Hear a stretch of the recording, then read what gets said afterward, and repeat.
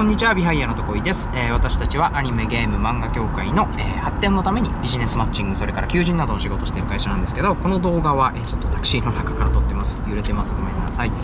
えっ、と、今回のニュースなんですけれども、えー漫画デスノートで知られる小畑健さんのですね、今やっている、学級法廷ですね、の漫画が、えー最終回を迎えましたという話題です。えー週刊少年ジャンプで連載されていたんですけれども、手書き法廷なんですけれども、えーまあ、原作は電子書籍アプリのジャンプライブ掲載の漫画、えーだったみたいですけど、えー約ですね1年と、まあ、4ヶ月くらいかな続いて、え4月で、え完結しました、えーあし失礼いたしました、え今回完結いたしました、まあ、小畑さん本当に毎回ですねすごい勢いでこう名作をあの叩き出し続けている。あの本当に力量のある作家さんだなっていつも思うんですけれども次の作品もすごく楽しみですね。あの、まあ、ジャンプで最終回やってるみたいなので、ぜひ、えーご覧になってみてはいかがでしょうか。ありがとうございました。